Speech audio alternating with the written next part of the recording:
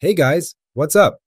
Welcome to the movie review of Leave the World Behind, based on the book of the same name written by Rumaan Alam on October 6, 2020, which I find very similar to a conspiracy theory. Yes, we watch most movies to have a good time, but I guess this is not one of them. My first sentence in the first minutes of the movie was With such a professional cast, why are the scenes shot as if they don't even know how to act? The dialogues and body language are too disjointed. It's like no one knows what they are doing. In the following minutes, when I saw traces of the conspiracy theory I mentioned, I realized that anyone would experience the same disconnect in such a situation. At least that's how I want to evaluate it, because if it's not, that's too bad. Anyway, the name of the conspiracy theory, cyclical disasters. Have you heard of it before? Let's take a look together. Imagine that the world is reset by cyclical disasters every few centuries. Almost all life starts from scratch. The expectation is that when the phenomena generated by solar flares fall on the Earth, they will pulverize everything they come into contact with, especially metal elements. In this situation, metropolitan cities are considered to have no chance. And what do we see? The only way to survive in this situation is to find a cave in mountainous areas, mostly rocks, which can protect you from these solar phenomena. Or there could be specially built shelters, like those bunkers that are not even shown in the project. Introducing the Svalbard Global Seed Vault, aka the Doomsday Warehouse. I guess it goes without saying why it was established. Anyway, don't tire yourself. It's hard to find enough caves for all of us anyway. Why do I feel the need to describe the movie in this way? Because if we look at it as a normal hacker attack movie, it's really bad. And we would expect any government to fight these hackers, right? Why might that not have been included in the movie? Why would you want to fight something that you know you can't fight? I mean, it's like the movie has a purpose. At least that's the theory I've heard. So I think it's better to look at it that way. If it's a hacker attack movie, how can we explain the animals changing their migration routes? As far as I know, animals do not get their location information from satellite like we do. Okay, okay, hold on. Let me tell you a secret that you've been looking at, but you can't see.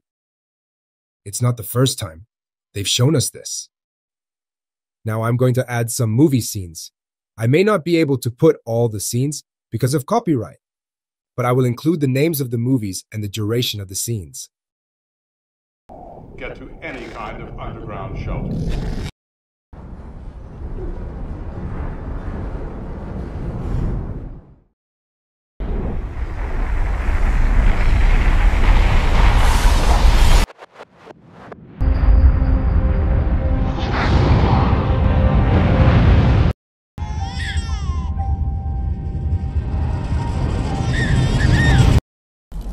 The earth shook for days the fires burned for weeks. And when the ash had settled, less than 10,000 of your kind still live.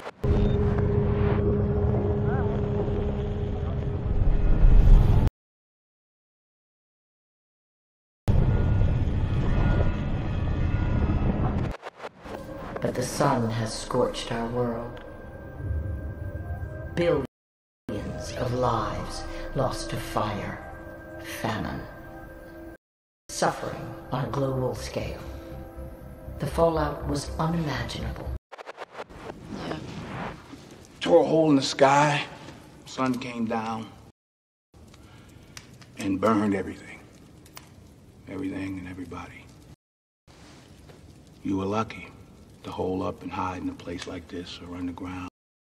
Do you think these scenarios are all coincidences? Are they trying to indoctrinate us into a prophecy?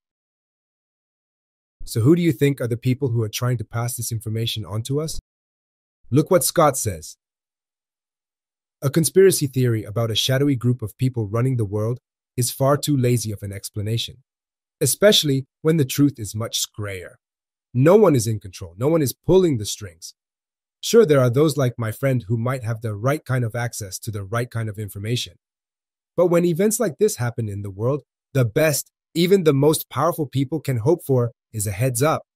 Um, did you think these dialogues were written randomly? Or are these people going to wait for the danger to pass in a place like this? Then let's look at another one, but I'll summarize it briefly. Rose tells a story that goes like this God sent you many messages to warn you, but you didn't listen to any of them.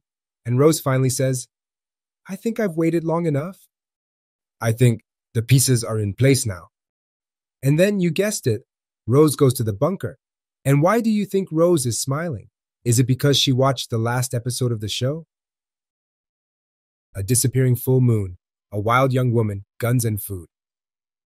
If you liked the video, you know what to do. See you in the next movie.